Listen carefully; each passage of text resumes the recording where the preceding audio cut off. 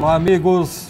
Estamos retornando nesta sexta-feira com mais um Camisa 15 aqui pela TV Campos, canal 15 da NET, nosso encontro semanal com as informações do esporte amador e profissional da cidade e da região. Estamos recebendo nesta sexta-feira, para nossa satisfação, o secretário de Juventude, Esporte, Lazer, Idoso e Criança do município, o Luiz Fernando Nunes, professor Luiz Fernando Nunes, mais conhecido como professor Dida, como passará a ser chamado daqui adiante por nós, com a licença do professor. E a secretaria, a gente vai abreviar para a Secretaria de Esportes, o nome é muito pomposo, né? Não sei se tem uma sigla ou não, é, que deixe mais enxuto o nome da, da secretaria comandada pelo professor Luiz Fernando Nunes. Na segunda parte do programa, logo na abertura, nós teremos uma matéria sobre a equipe de aeromodelismo da Universidade Federal de Santa Maria com o projeto Carancho, essa matéria foi feita pelo repórter Felipe Laudi. Inicialmente, eu gostaria de agradecer a, ao jornalista Cleri Quinones de Lima, que nos enviou um exemplar do seu livro Esportes Revisados em Santa Maria, Handball, número 1. E nós, por falta de tempo, não tivemos a oportunidade de comparecer no lançamento, que ocorreu na Câmara de Vereadores de Santa Maria. Obrigado ao Cleri Quinhones de Lima, fica aqui o registro, aqui a capa do livro. E também ganhei de presente do professor Dida um material aqui que ele gostaria inicialmente que ele falasse um pouquinho para nós, para os nossos telespectadores. É uma medalha, que é mais temos aqui, uma camiseta, é isso? Exato. Camiseta belíssima. Futebol de salão, eu participei. Gostaria que o professor Dida, agradecendo já antecipadamente sua presença, para nossa satisfação, aqui a camiseta aqui belíssima, com mostrando uma parte do Corinthians completamente loca, lotado, né?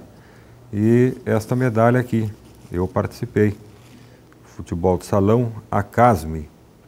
Então gostaria que o professor explicasse para nós, para os telespectadores, o que, que se trata esta, esta promoção, essa iniciativa desse, desse, desse belíssimo trabalho aí, professor. Cândido, sempre um prazer né, estar contigo e isso aí não é um presente, isso aí é um merecimento, porque nós tivemos uma ideia uh, do ano passado de fazer um encontro daquelas pessoas que fizeram o futebol de salão ser forte em Santa Maria, na época chamado futebol de salão. Né? 79, até 89, foram 10 anos muito bons na cidade de Santa Maria. E a gente achou interessante fazer um, um encontro de, dessas pessoas e confeccionar também um material para que isso fosse guardado de, de recordação pelas pessoas que participaram e que fizeram esse futebol de salão. Então, tu tiveste uma participação muito importante, acompanhou praticamente todos os jogos. Eu sei que na tua região tinha, tinha equipes fortes participando e foi um momento, eu, eu acredito, assim, ó, que não só para o esporte de Santa Maria, mas para a comunicação também, né, para o pessoal da, área esportiva, foi maravilhoso, jornais e, e tu tens algum material já escrito também em relação a, a, a esse período. Uh, e nós achamos por bem fazer um encontro. Foi muito legal, nós conseguimos colocar em torno de 150, 170 pessoas eh, em um jantar e todos saíram com uma camiseta, com uma medalha dessas, porque eles fizeram parte. E isso já nos deixou no compromisso de que agora já estão cobrando, isso foi quase no final do ano, já estão nos cobrando para que nós neste ano uh, façamos.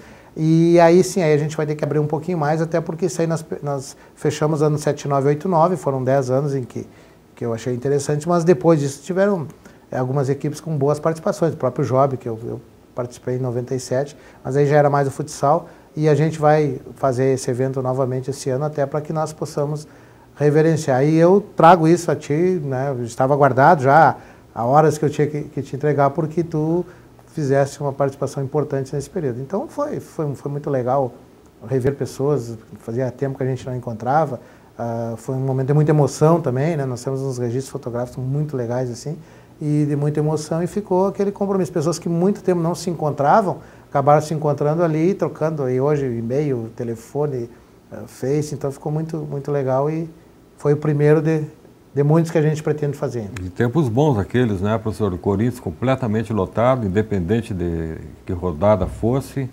Isso, isso até uh, foi uma das coisas que fez com que a gente colocasse né, na camiseta a foto do, do, do, ginásio Corinthians lotado, que isso aí não foi uma noite específica, eram todas as noites era assim. É, todas né? as noites. E, e, os jogos acirrados, e nós tivemos, uh, hoje a gente conversando assim, naquela noite foi uma noite legal também, porque a gente começou a lembrar até da própria rivalidade que havia né, entre as, as equipes e, e, os atletas sendo trocados de, de, de, equipe de um ano para outro em função disso, a, organização em si que as empresas também tiveram nessa área esportiva, com equipes quase que, diríamos, com um semi-amadorismo, né? porque alguns atletas até tiveram desempenho, muitos estudaram, e, e, aí foi uma das coisas interessantes, porque nós pudemos reunir alguns que hoje são pessoas muito bem posicionadas na sociedade em Santa Maria pela formação que tiveram, e foi um, era um, um espaço cultural muito legal nesse período, porque a gente dá uma olhada naquelas fotos daquele período, nós vimos as famílias inteiras dentro do ginásio, né? Então, coisas muito, muito legais assim, era aquele compromisso que,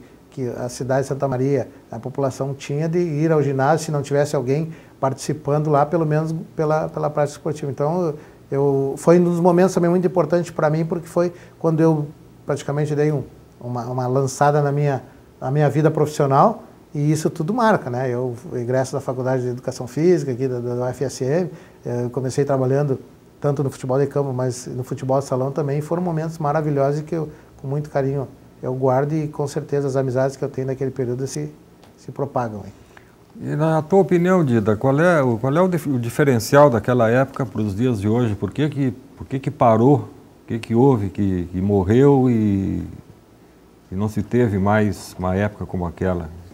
Cândido, eu, eu acho assim ó, que uma das coisas que mais, que mais me chama a atenção é que nós tínhamos áreas de cidade interiorana e que as, as atividades eram muito muito poucas que né, era, era, então a gente tinha o esporte tinha o cinema tinha alguma coisa assim e, e eu acho que essa essa história toda da tecnologia que veio essa, essa globalização ela começou a dar mais oportunizar outras coisas outras atividades outros modelos de lazer outras coisas assim e isso foi, foi diversificando. Então, por que, que aquele período, eu, eu diria que, que ele, isso é um reflexo da, da, daquele período. Aquele período nós sabíamos assim, as nossas equipes conseguiam treinar praticamente toda semana. As pessoas trabalhavam durante o dia e treinavam à noite. Uh, recebiam algumas ajudas de custo das empresas que, que, né, que faziam, buscavam, eram patrocinadores e, e recebiam alguma coisa. A partir outra coisa também que, que nos complicou muito e aí eu falo já agora enquanto gestor, é a condição de apoiamento financeiro para essas equipes, porque nós temos uma Constituição né, que, que, em 88 colocou algumas, algumas coisas que a gente tem que se ater a ela, sobre uh, verbas públicas, sobre investimentos uh, públicos. Uh, em 2000, a lei de responsabilidade fiscal entrou pegando muito fortemente os gestores públicos na, na, na destinação de verbas públicas para essas atividades.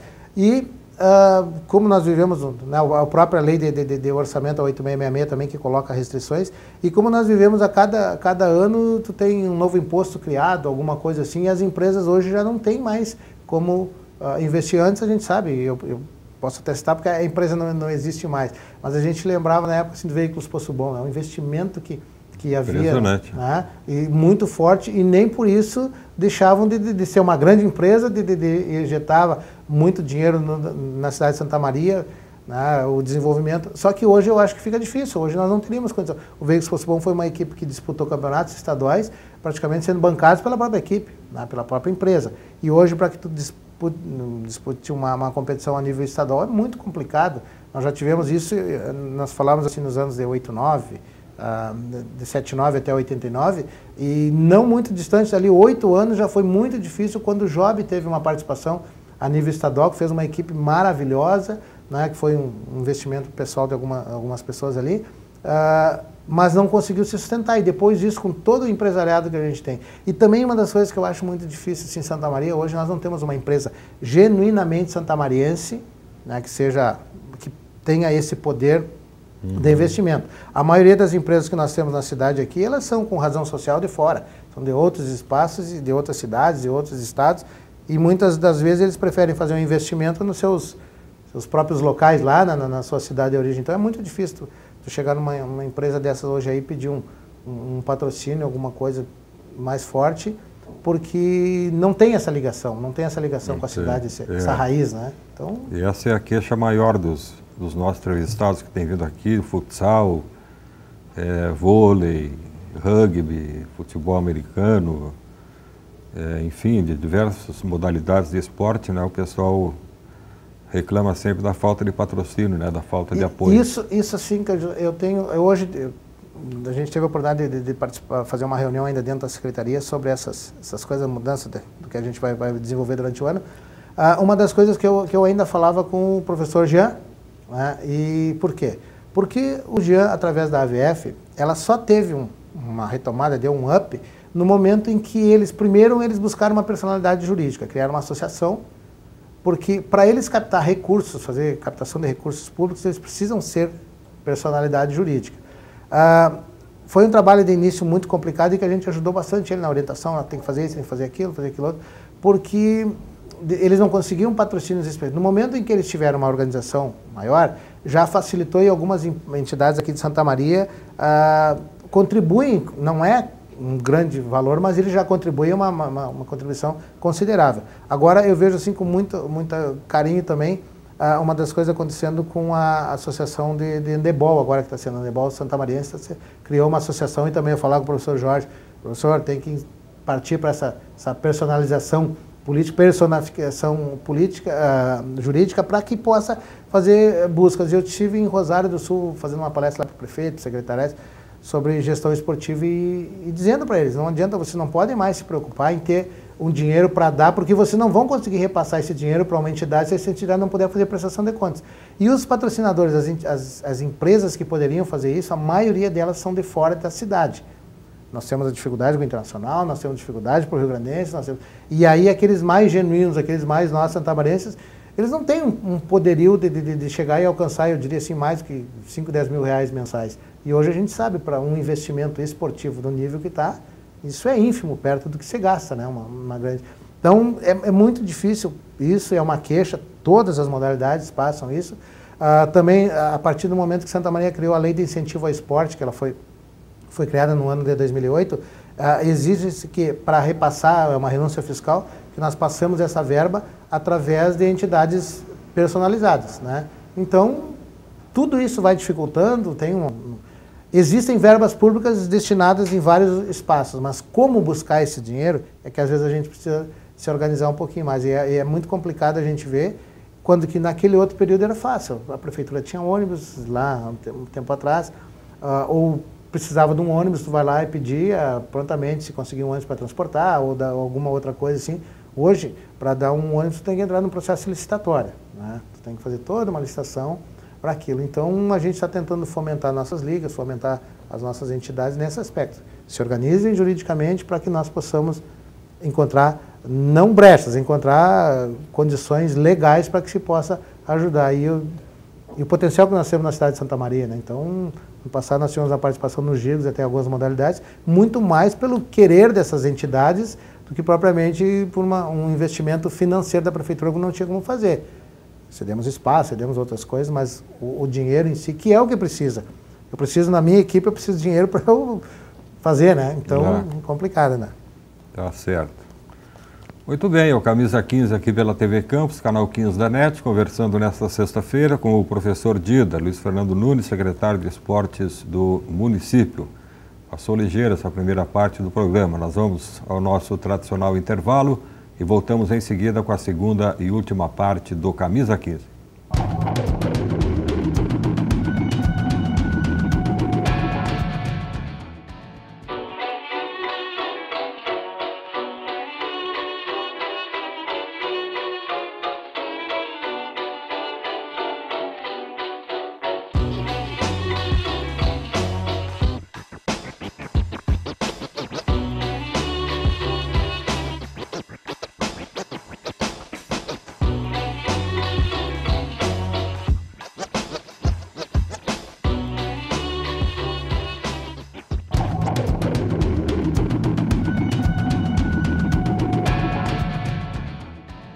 Muito bem, estamos de volta com a segunda parte do nosso Camisa 15, recebendo nesta sexta-feira o professor Dida, Luiz Fernando Nunes, secretário de Esportes do município de Santa Maria.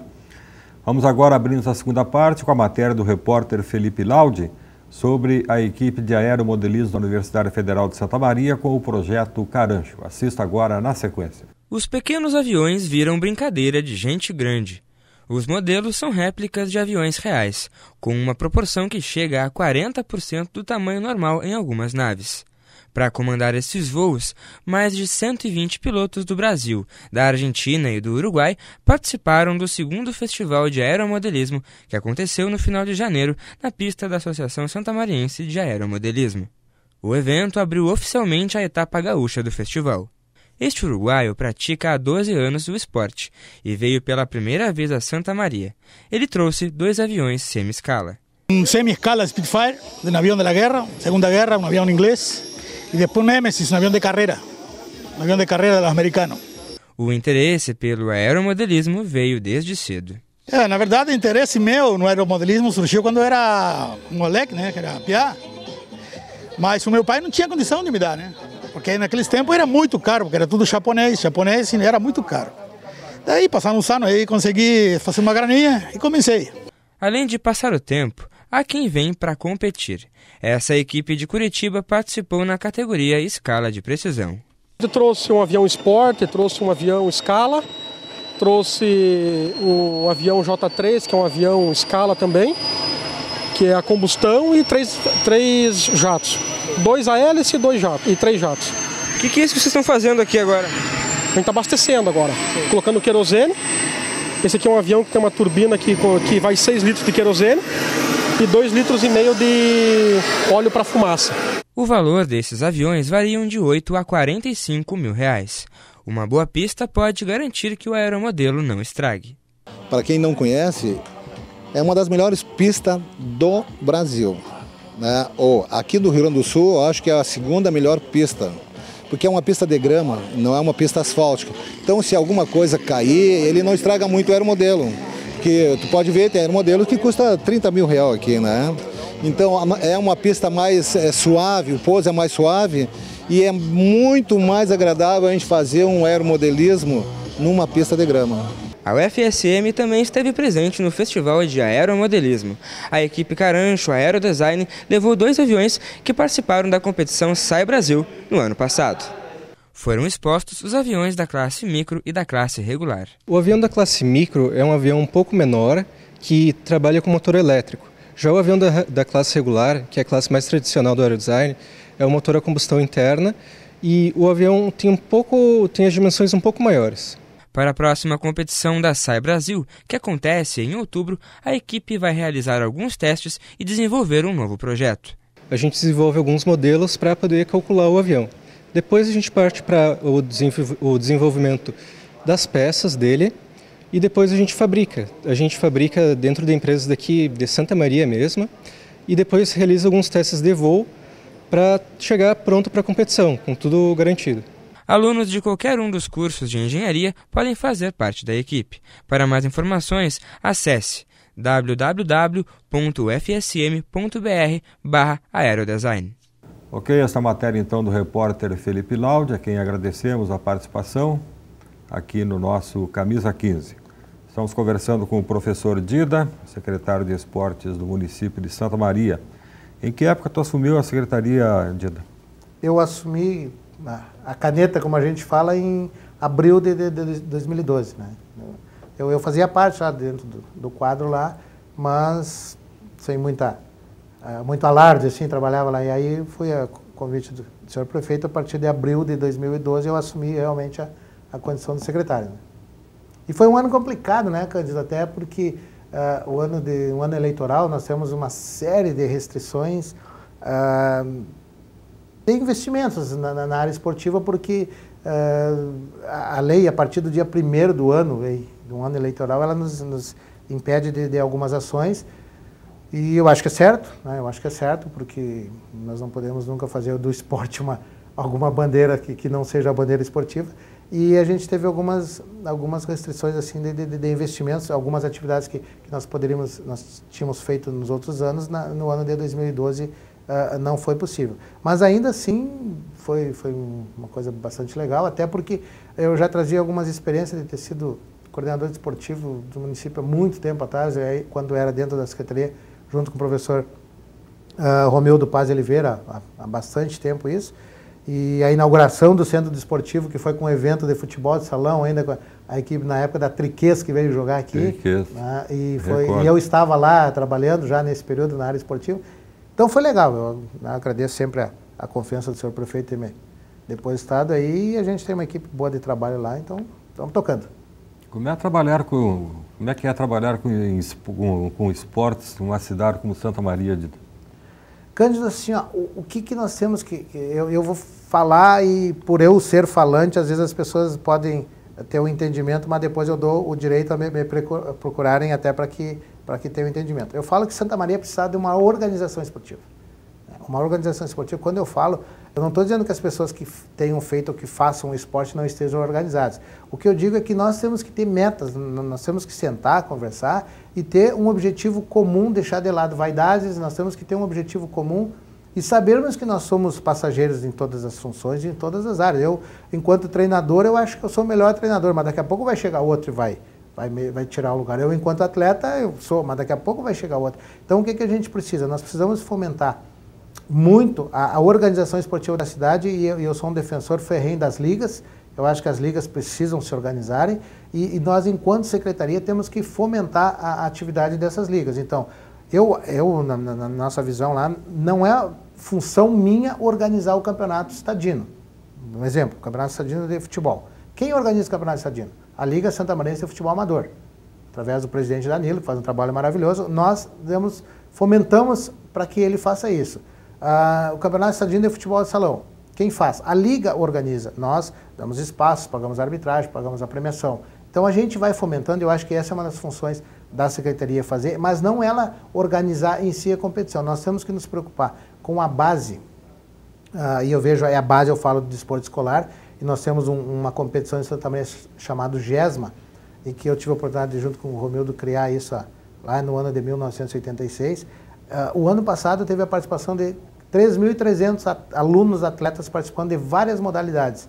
Durante todo o ano desenvolve a competição, tem premiação, tem arbitragem, foi feito um coquetel de encerramento, professores envolvidos. Então a gente, desta forma, eu acredito que nós estejamos fomentando o desporto educacional, que é o que diz a Constituição. Né? Lá no seu artigo 217 ela nos fala que é, a gente tem que fazer um investimento no desporto educacional.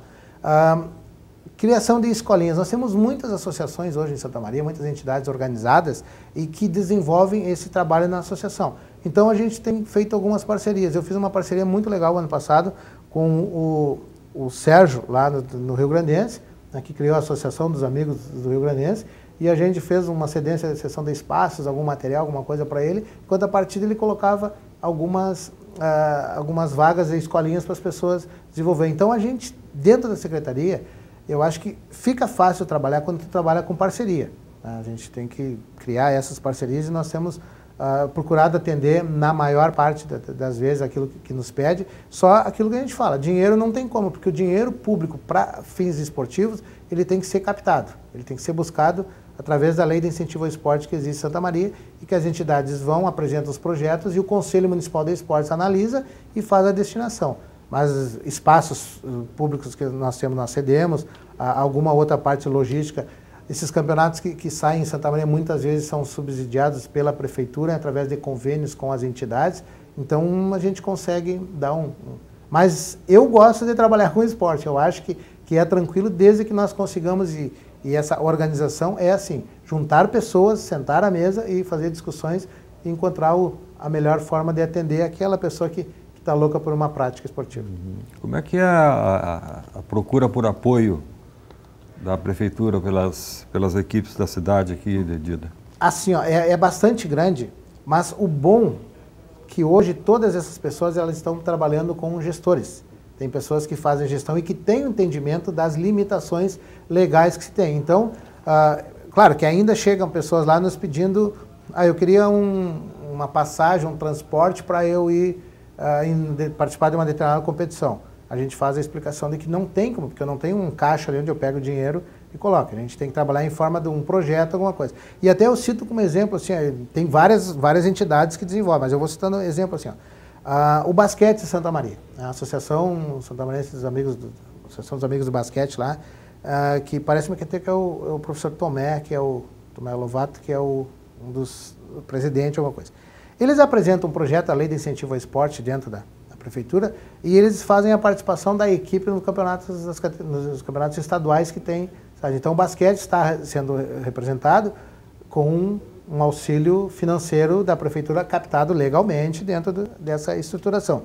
Aí quando sai um campeonato estadino de basquete, nós fizemos o pagamento da taxa de arbitragem e às vezes a premiação para a modalidade desenvolver. Eu acho isso é, o, é um modelo bom de ser feito no esporte. Ah, o judô, a gente sabe que Santa Maria tem um, uma história maravilhosa do judô. De que forma é isso? A, a Associação dos Amigos do, do, Judô, eles captam recursos também da lei de incentivo, aí utilizam espaços nossos, ginásios e, e, e outros espaços que a gente cede. Quando tem um grande evento, a gente procura apoiar de alguma forma também, né, nessa forma mais logística. Uh, e aí vai saindo, vai saindo. Então a gente tem uma procura bastante grande. Às vezes a gente tem que dizer, realmente tem que dizer um não, porque o impedimento legal, jurídico é muito grande. O Tribunal de Contas nos aponta, todo final do ano ele faz a, a, a cobrança de onde foi colocado esse dinheiro. E a lei de responsabilidade fiscal, mais do que nunca, né? Porque antes era muito, tranquilo para o secretário dizer, ah, eu faço isso depois do prefeito que assume. Hoje nós certo. somos solidários, né? Hoje não tem como fazer. Mas é muito legal, quer dizer, a, a gente tem bastante gente procurando lá e pena que nós não possamos dar a atenção que todos mereciam e aquilo que pedem. Né? Uhum. Os projetos apoiados hoje ainda são a GESMA, o Judô Mãos Dadas e Canoagem na Escola. Tem mais algum ou não tem mais algum desses não tem mais? Nós temos, não, nós temos assim, ó, o, o GESMA continua, né, o GESMA ele até está caminhando para se tornar uma política pública em que todo ano realmente ela tem que acontecer em forma de legislação. Ah, o projeto do, do, do, Mãos Dadas é, é porque nós temos a, a professora Aglaia, que ela é cedida para fazer isso, e fora esse aporte todo. Mas nós temos também, assim, a gente tem grupo de hipertensos lá dentro ainda que, que fazem um trabalho maravilhoso. Foi criado na época do professor uh, e doutor Enio Frasson, né, que foi um dos mentores. Nós temos os nossos alongamentos para a comunidade, nós temos atividades de, de escolinhas lá no ginásio do Oreco, nós temos muitas atividades internas nossas. E esses, nós não, não, não temos colocado muito... A, a, a terminologia já do projeto propriamente dito, porque uh, esses projetos eles são de entidades agora, eh, são entidades personalizadas que nós apoiamos. Né? Então a canoagem ela é, tem uma personalidade e tem uma parceria muito grande com a universidade aqui também, que está tá ajudando maravilhosamente bem a professora Margarete. Uh, o, o, judô tem uma, uma personalidade. Uh, nós temos um apoio bastante interessante para a AVF na, na, na sessão dos espaços, lá para que que eles desenvolvam. Nós temos um apoio bastante grande para o handebol também, concessão de espaço e algumas outras. Então, as, o próprio futebol salão que a gente faz. Então, a gente apoia e os projetos não são mais específicos da nossa secretaria, porque nós vamos usando aquela história da parceria entidade organizada, né? Então, é, bastante... É aquelas nossas ações internas lá, diárias, que se tem grupo de, de ginástica, grupo de dança, musculação. E agora, Cândido, por esse, esse advento aí que, que ocorreu, que nos causou um problema na cidade, Uh, nós temos um, uma quadra de grama sintética muito bonita lá no Complexo do Oreco. Não pôde ser inaugurada ainda em função desse, desse período que aconteceu uhum. aí. E ela já está, mas está sendo utilizada pela comunidade. Aí é uma, uma, uma quadra maravilhosa lá. Uh, em seguida nós vamos poder estar tá desenvolvendo alguma atividade nessa área também.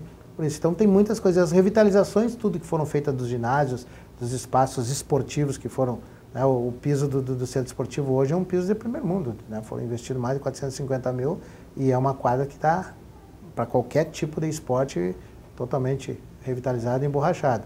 E, então essas, essas coisas a gente vai, vai ajudando, porque se nós não podemos passar o dinheiro, nós podemos pelo menos dar a parte logística para as pessoas uh, utilizarem. Né? Então... Tá certo. Bom, nosso tempo já está quase esgotado. Eu gostaria que o professor Dida nos falasse sobre a questão da infraestrutura esportiva na cidade. O que, que se fez e o que está em planejamento com relação à infraestrutura é, assim, esportiva? Ó, eu, eu acho, isso é, não é a teoria do achismo, mas a gente diz eu acho, é porque a gente já detectou isso. Nós temos que uh, criar mais espaços. Uma das coisas que, que, eu sempre tenho falado é sobre a criação de, de arenas esportivas, em que seria a colocação de areias, em, de, de, de, areia em alguns locais, e agora aqui em Calmobi já está saindo uma aí na, em frente ao Margarida Lopes, que nos oportuniza alguns esportes de verão serem realizados. Nós temos que criar bastante isso para que as comunidades possam fazer. Espaços públicos, se nós temos os nossos ginásios, todo o complexo da, da, do CDM, o complexo do, do, Guarani Atlântico, o complexo São Marcos aqui no, em Arroio Grande e o complexo do Oreco, que eles atendem essas comunidades da região.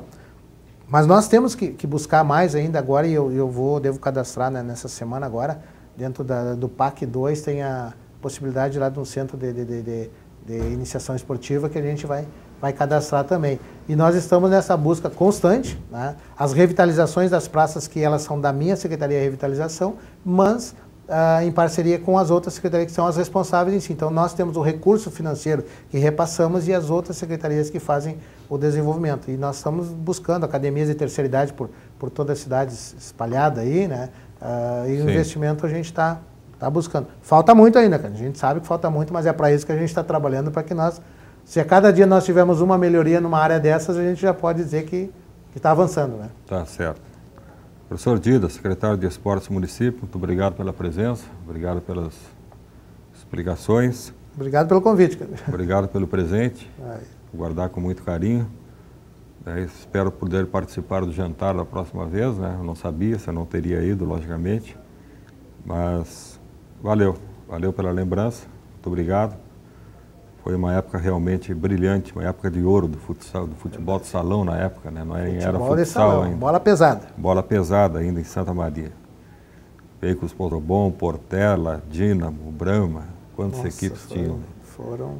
Ginásio completamente lotado. Obrigado pela presença, professor. Obrigado pelo convite, cara.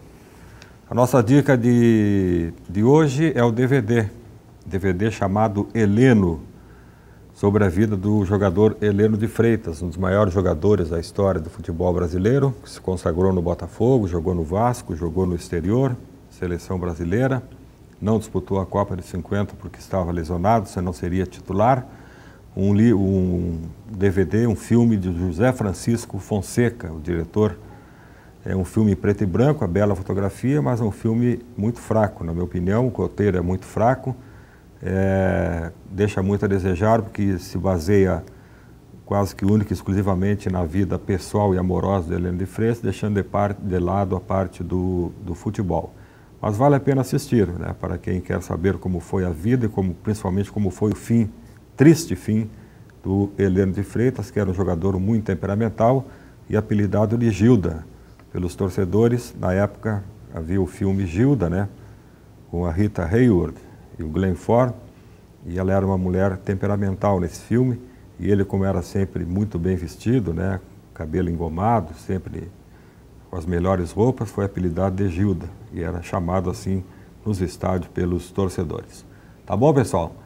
Esse então foi o nosso Camisa 15, que teve a produção do Luiz Valério Seles, a participação do repórter Felipe Laude. Nós voltamos na próxima sexta-feira com mais convidados, com mais informações do nosso esporte amador e profissional. Obrigado pela companhia, um abraço e até a próxima sexta.